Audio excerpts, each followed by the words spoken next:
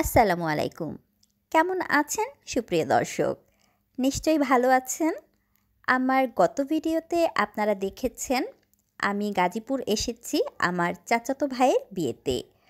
তো গতকালকের ভিডিওতে বিয়ের সম্পূর্ণ হলো আর এখন আমরা নতুন বউ নিয়ে যাচ্ছি, নতুন বউয়ের শ্বশুরবাড়ি। তো এই যে নতুন বউ এবং বর দুজনেই কিন্তু অনেক খুশি। তো এই যে চলতে চলতে প্রায় সন্ধ্যা হয়ে গেল।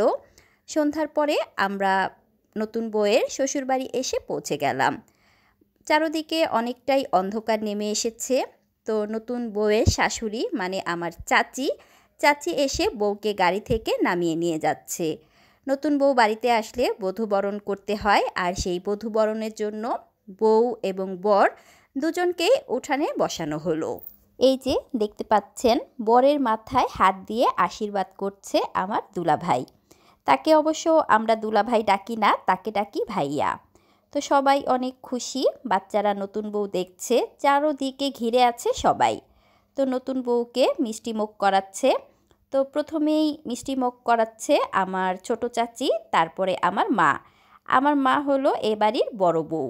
আমার বাপ চাচারা ছয় ভাই, আর আমার বাবা ছিল সবার বড়। তাই আমার মাকে সবাই ডাকে বড় মা। তো বড় মা, নতুন বউ এবং জামাই দুজনকেই মিষ্টি মুখ করালো। আমার চাচিরা এক এক করে সবাই নতুন বউকে মিষ্টি মুখ করাচ্ছে, সাথে কিন্তু বরকেও মিষ্টি মুখ করাচ্ছে।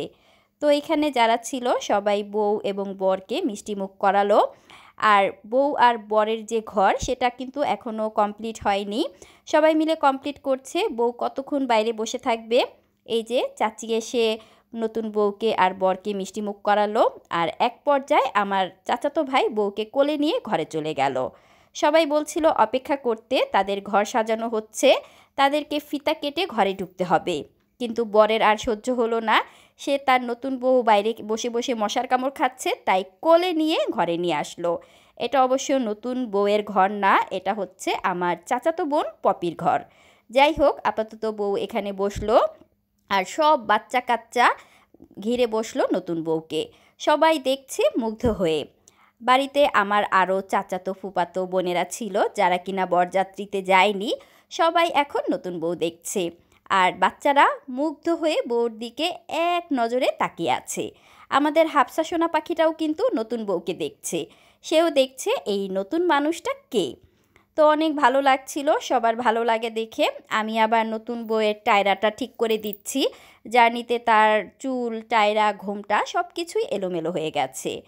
এদিকে আমার আরও চাচাতো ফুপাতো ভাই বোনেরা নতুন বউ আর বরের জন্য বাসর ঘর তৈরি করছে।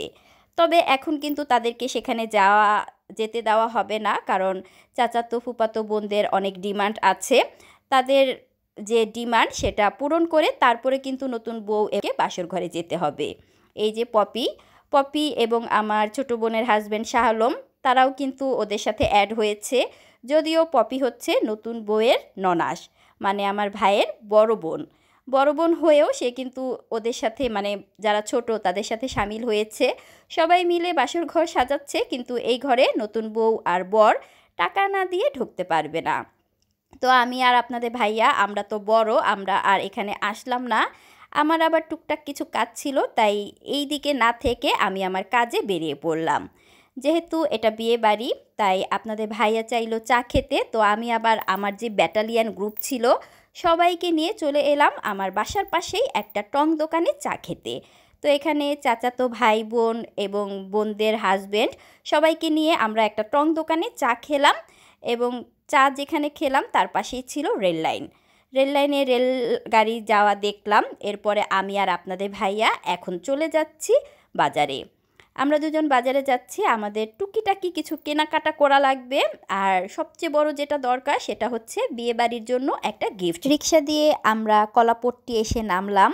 আর কলাপট্টির যে মন্দিরটা ছিল, মন্দিরের ভিতর দিয়ে এখন যাচ্ছি জয়দেবপুর মার্কেটে। আপনাদের ভাইয়া অবশ্য চেয়েছিল রামপুরা থেকে গিফট কিনে নিয়ে আসতে, কিন্তু আমার সাথে অনেক লাগেজ ছিল। আর এরপরে যদি গিফটটা সাথে নিয়ে আসি, তাহলে আমাদের আসতে অনেক কষ্ট হয়ে যেত। তাই আমি রামপুরা থেকে বা ঢাকা থেকে গিফট না কিনে গাজীপুর এসে এখন বিয়েবাড়ির গিফট কিনছি। তো আমার পছন্দ হলো এই ডিনার সেটটা আপনাদের ভাইয়াও পছন্দ করল। তো আর ঘোরাঘুরি না করে এই ডিনার সেটটাই আমরা প্যাকেট করে নিলাম। রাত যেহেতু হয়ে গেছে আর হাতে সময় নেই, কালকের দিনই আমরা আছি, তাই এই গিফটটাই আমরা দোকান থেকেই র্যাপিং করে নিলাম। আমি এখন আর বিয়ে বাড়িতে যাচ্ছি না, এখন এই বাজার থেকে মানে জয়দেবপুর মার্কেট থেকে সোজা চলে গেলাম আমার বড় বোনের বাসায়। বরাপুর বাসায় এসে শাড়ি গহনা খুলে একটু ফ্রেশ হলাম। তারপরে দেখতে পেলাম আমার বড় আপু অনেকগুলো পাতাকপি নিয়েছে ফ্রোজেন করার জন্য। তো আমি আপুকে বললাম, দাও, আমি এগুলো কেটে দিই তারপরে তুমি ভাপ দিয়ে ফ্রোজেন করো। আপুও খুশি হলো, আমি আপুকে একটু হেল্প করছি। এখানে আটটা পাতা কফি ছিল, তো এই কফিগুলো যদি আপু একা একা কাটতো, আপুর অনেক সময় লাগতো, তাই আমি আপুকে একটু হেল্প করে দিলাম। আমি আটটা কফি কেটে দিলাম আর আপু এগুলোকে ভাপ দিল। এই যে দেখেন, ভাপ দেওয়ার পরে এক ঝুড়ি পাতা কফি।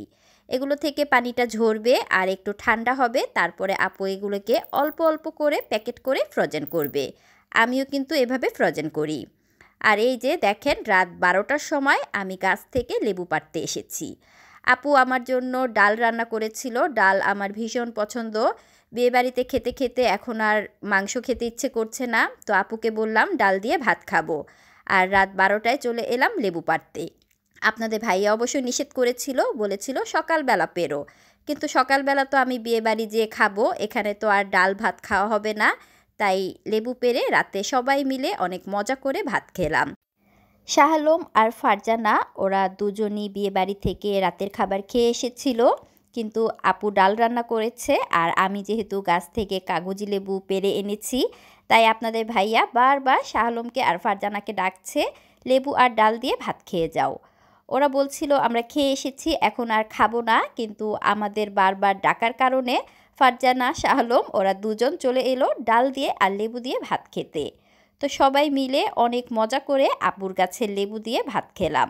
আর সেই সাথে সাথে আপনাদের কাছ থেকেও বিদায় নিচ্ছি। সবাই ভালো থাকবেন, সুস্থ থাকবেন, নিরাপদে থাকবেন। আর আমার পরবর্তী ভিডিও দেখার আমন্ত্রণ জানিয়ে আজকের মতো এখানেই বিদায় নিচ্ছি। আল্লাহ হাফেজ!